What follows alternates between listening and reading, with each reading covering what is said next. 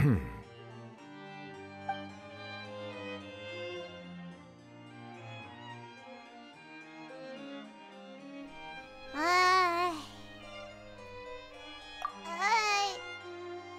resting is a part of taking a break, shouldn't we at least talk about something?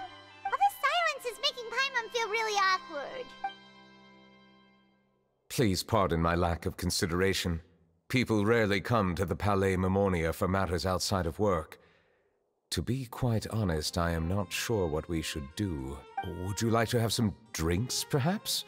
You must be thirsty after all that work. Ooh, drinks! Thank you! Hmm. Paimon wonders what Neuvillette likes to drink. Oh, maybe he's a fan of really fancy wines. He seems like the type of person who'd own an entire winery. You know, like Diluc. Uh,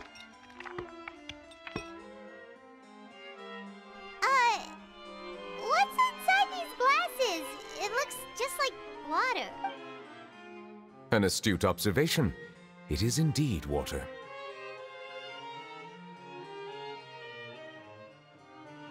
So it's just plain old water?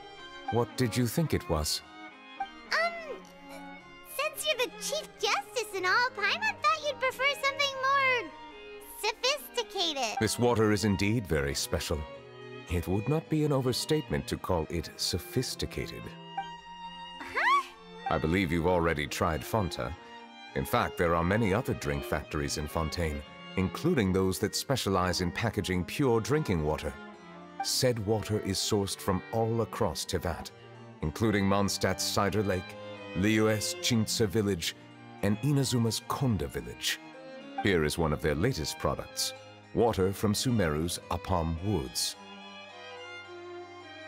If I were to comment on their mouthfeel, Hmm, the waters of Cider Lake warm the heart. The waters of Qingce Village have a poignant touch, while one might call the waters of Konda Village uh, placid.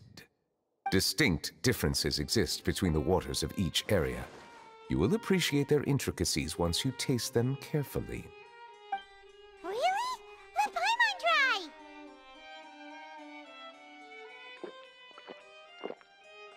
What do you think?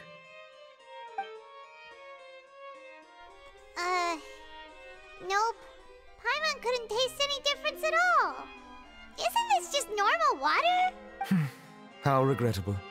It seems like you still have a long way to go in refining your taste. Hey, this doesn't have to do with refining our taste.